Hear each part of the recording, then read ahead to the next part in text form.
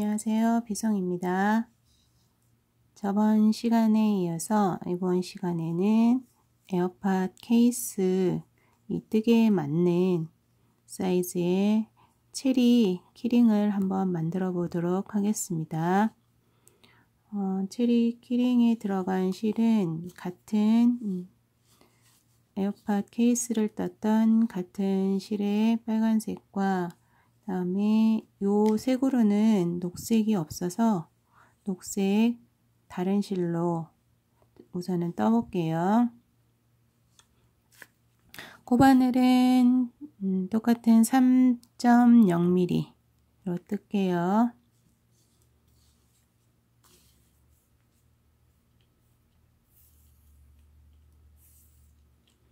미직링을 잡아줍니다.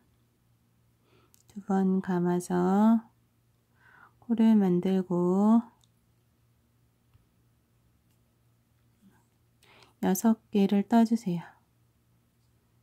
하나, 둘, 셋, 넷, 다섯, 여섯, 여섯 개를 떠주고 실을 잡아당겨서 매직링을 해주시고 그 다음에 첫 번째 코에 빼뜨기를 해주세요.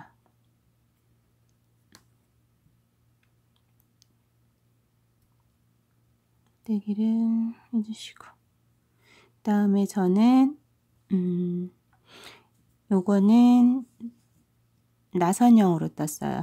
나선형으로 떴기 때문에 어, 빼뜨기 한 다음에 사슬을 올리지 않고 바로 뜰게요. 각 코에 두 코씩을 떠서 늘리기를 해줍니다. 하나, 둘, 하나, 둘, 12코가 되도록 코를 늘려주세요.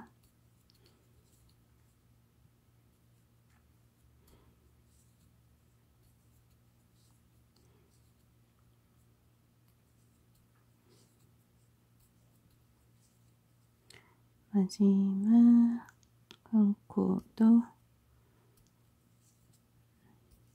네, 누르신 다음에 요 끈을 바짝 당겨서 네,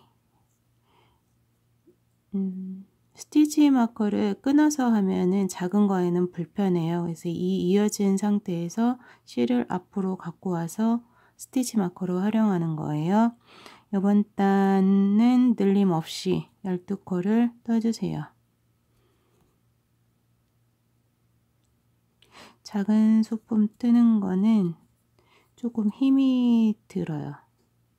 잡을 때도 마땅치 않고 음, 코바늘 뜨기가 쉽지는 않아요. 그리고 이 실의 특성상 좀 빡빡하게 떠지기 때문에 실을 잘 잡고 뜨셔야 합니다.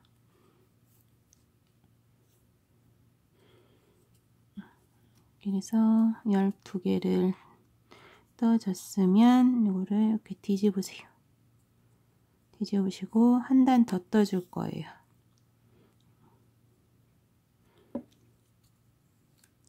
하나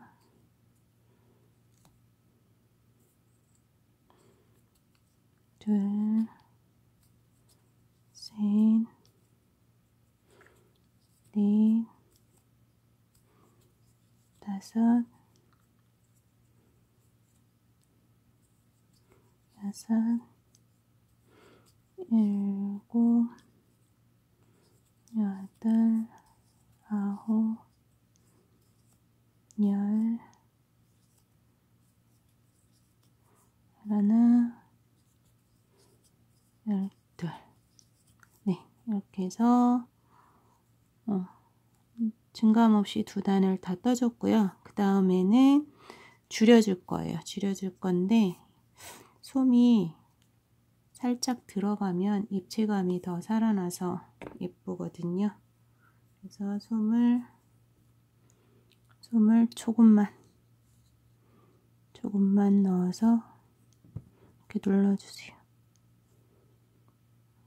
눌러주신 다음에 줄여줄 거예요. 줄여주는 부분이 쉽지가 않아요. 앞코만 걸어서 한 번, 여섯 번을 줄여줄 거예요. 앞코만 걸어서 두 번,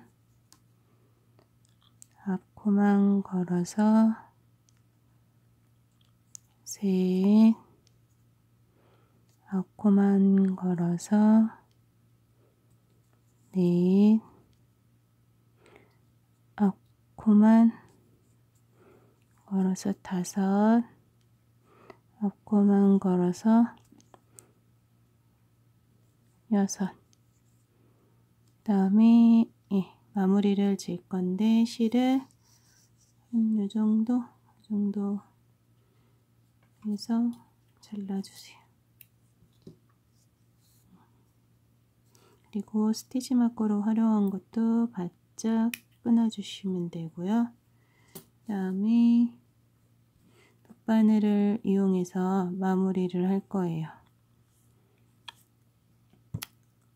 여섯, 하나, 둘, 셋, 넷, 다섯, 여섯 코가 있잖아요. 그 부위에서 앞부분만 겉에서 안으로 한 번, 두 번, 세 번, 네 번, 다섯 번, 여섯 번.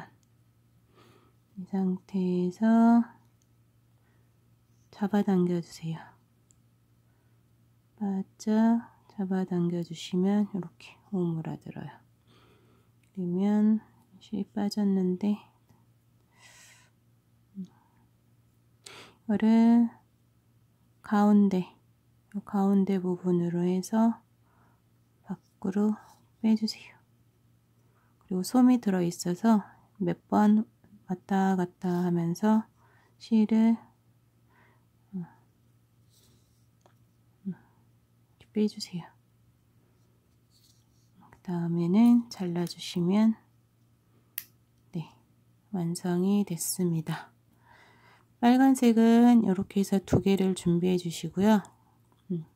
그 다음에 요 녹색 잎, 녹색 잎을 떠보도록 할게요.